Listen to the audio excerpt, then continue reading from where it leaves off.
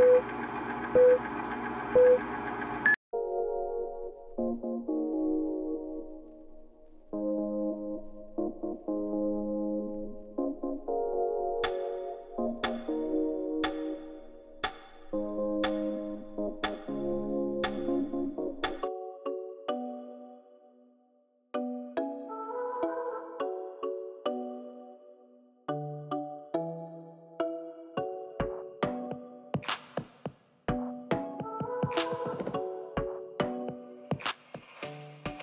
pagi menjelang siang bagi anak ibu sekalian yang ada di rumahnya masing-masing. Salam SFD, semangat, fraternitas, Dina.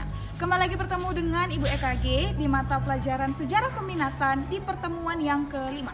Dan Ibu juga mau ucapkan selamat memperingati Hari Kemerdekaan Republik Indonesia yang ke-76. Sekali merdeka, tetap merdeka. Harapannya kemerdekaan bangsa ini tetap bisa kamu pertahankan dengan cara rajin belajar dan mengikuti kegiatan pembelajaran daring dengan baik. Karena ingat, suatu hari nanti kamu yang akan menjadi pemimpin bangsa ini. Dan tidak perlu berlama-lama lagi, mari langsung kita saksikan video pembelajaran kita hari ini.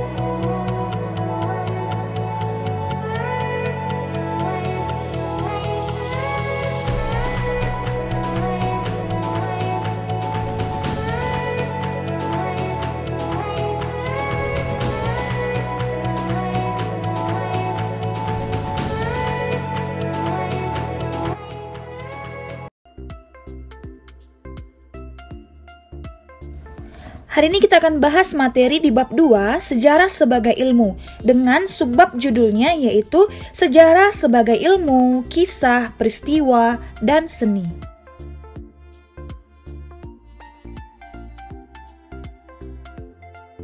Nah, adapun tujuan pembelajaran kita hari ini adalah setelah mempelajari materi hari ini, diharapkan siswa mampu dengan sikap energik dan disiplin dalam memahami konsep sejarah sebagai ilmu, kisah, peristiwa, dan seni dalam kehidupan manusia.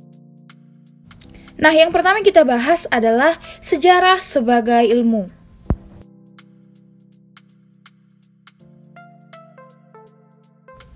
Sejarah sebagai ilmu nanti memiliki dua konsep. Yang pertama memiliki metode dan yang kedua memiliki objek.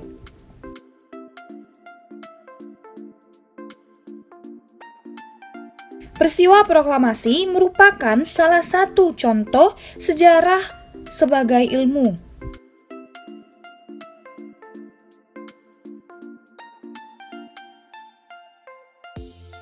Nah, objek kajian sejarah itu nanti terdiri dari empat kategori. Yang pertama, apa hal yang dipikirkan, hal yang dikatakan, hal yang dirasakan, dan hal yang dialami oleh manusia dalam ruang dan waktu, itulah yang menjadi objek kajian sejarah. Sedangkan metode sejarah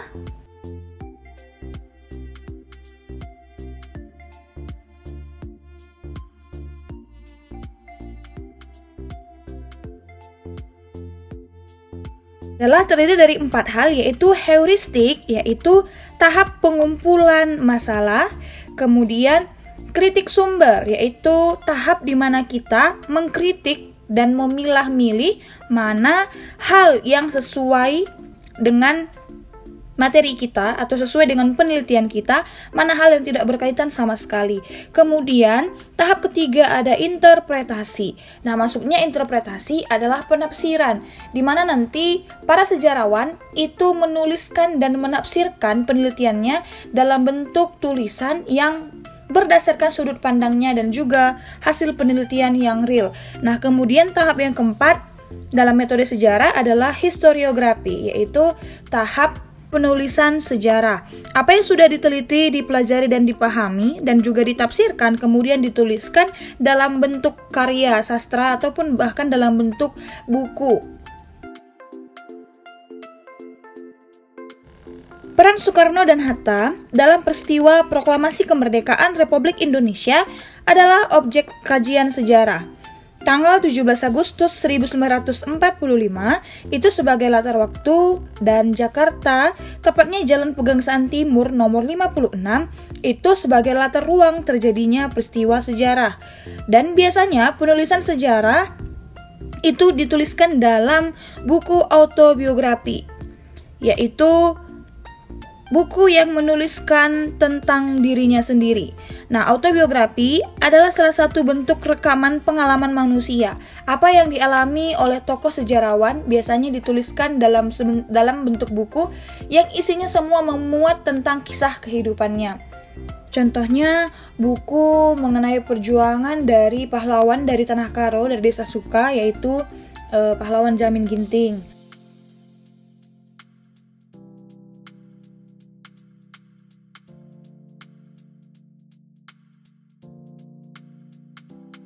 Sejarah dikatakan sebagai ilmu nantinya memiliki lima ciri. Nah, yang pertama ada empiris. Empiris artinya berdasarkan hasil observasi atau penelitian. Jadi, Sejarah itu haruslah diteliti terlebih dahulu kebenarannya, sehingga tidak hanya akan berupa mitos atau cerita belaka. Kemudian, selain empiris, syarat sejarah sebagai ilmu yaitu memiliki objek, di mana objek kajian dari sejarah adalah manusia itu sendiri dan segala kegiatan dan aktivitasnya, baik yang terjadi di masa lampau, masa kini, bahkan mungkin di masa depan. Nah, syarat ketiga yaitu memiliki teori, di mana sejarah juga memiliki beberapa teori. Contohnya, teori penciptaan manusia. Menurut teori Charles Darwin yang menyatakan bahwa manusia adalah hasil evolusi dari kera dan itu sampai saat ini menjadi pro dan kontra dan para sejarawan lainnya sudah berhasil membuktikan bahwa ternyata teori ini salah. Namun itu adalah salah satu dari sekian banyak teori yang dimiliki oleh ilmu sejarah. Kemudian syarat yang keempat yaitu memiliki metode, di mana metode yang dimaksud tadi adalah metode penelitian sejarah. Tadinya terdiri dari beberapa langkah, yaitu ada empat langkah, mulai dari heuristik, kemudian kritik sumber, interpretasi, dan historiografi. Dan yang terakhir, sejarah sebagai ilmu mempunyai generalisasi.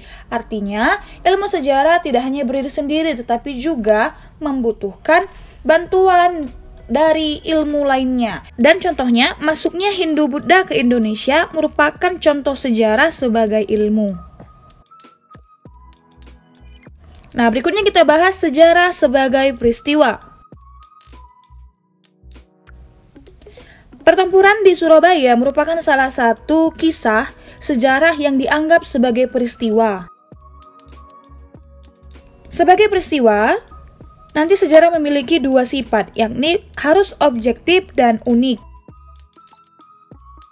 Jadi sifat sejarah sebagai peristiwa itu ada dua.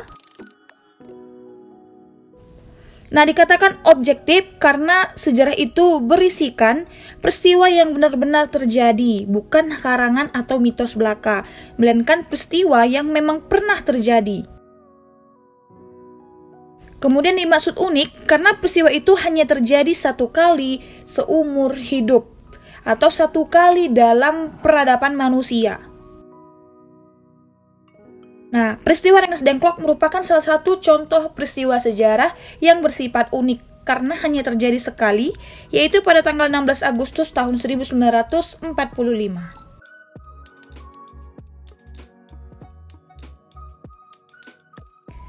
Peristiwa yang telah terjadi di masa lampau dikatakan sebagai peristiwa sejarah jika memiliki syarat sebagai berikut. Ada objektif, yaitu memiliki fakta. Kemudian penting, artinya mempunyai arti penting bagi kehidupan bangsa Indonesia.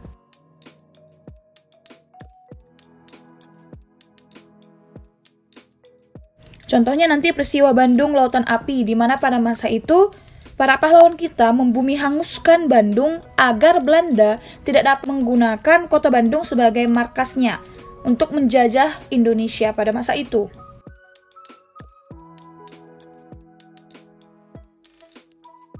Nah, berikutnya yang ketiga, sejarah sebagai kisah. Tadi kita sudah bahas sejarah sebagai ilmu, sejarah sebagai peristiwa, dan sekarang kita bahas yang ketiga, sejarah sebagai kisah. Sejarah sebagai kisah adalah hasil penelitian sejarawan yang dapat dipertanggungjawabkan kebenarannya atau menggunakan metode penelitian sejarah. Patung yang diyakini perwujudan Raja Erlangga sebagai jelmaan Dewa Wisnu yang sedang mengendarai Garuda. Nah, ini adalah hal contoh kisah yang dipercaya masyarakat Bali pada masa itu. Karena masyarakat pada masa itu percaya bahwa adanya konsep dewa, raja adalah jelmaan dari dewa. Jadi kalau kita ke Bali, kita temui ada banyak patung dari raja-raja kerajaan Hindu Buddha pada masa itu karena memang pada masa itu masyarakat percaya bahwa raja itu adalah titisan atau keturunan dari dewa yang menjadi pemimpin masyarakat di bumi masa itu. Berikutnya kita bahas sejarah sebagai seni yang keempat. Nah, sejarah sebagai seni itu memiliki maksud sebagai suatu kemampuan menulis yang baik dan juga menarik mengenai suatu kisah atau peristiwa yang terjadi pada masa lampau. Ciri sejarah sebagai seni yang pertama memiliki intuisi. Di intuisi adalah naluri atau bahasa sekarang yang lebih dikenal itu dengan kata feeling. Kemudian harus memiliki emosi. Kemudian syarat ketiga atau ciri ketiga Sejarah sebagai seni adalah memiliki gaya bahasa.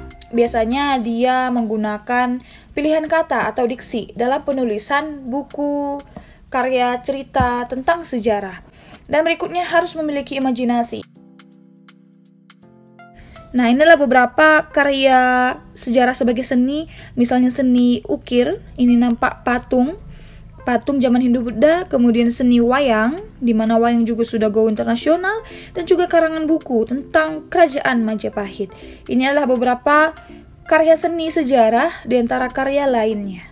Nah, demikianlah tadi pembelajaran kita pada hari ini. Semoga pembelajaran kita hari ini dapat bermanfaat bagi kamu sekalian dan tentunya menambah pengetahuanmu. Dan jangan lupa tetap kerjakan tugasnya dengan baik, catat juga materinya karena di akhir bulan ini kita akan ke sekolah untuk mengumpulkan catatan kita. Dan pastikan kamu tetap jaga kesehatan, jaga jarak supaya minggu depan pun kita masih bisa tetap melakukan pembelajaran daring seperti ini. Dan akhir kata ucapkan salam jas merah. Jangan sesekali melupakan sejarah. Tuhan Yesus memberkati kita semua. Sampai jumpa di pertemuan minggu depan.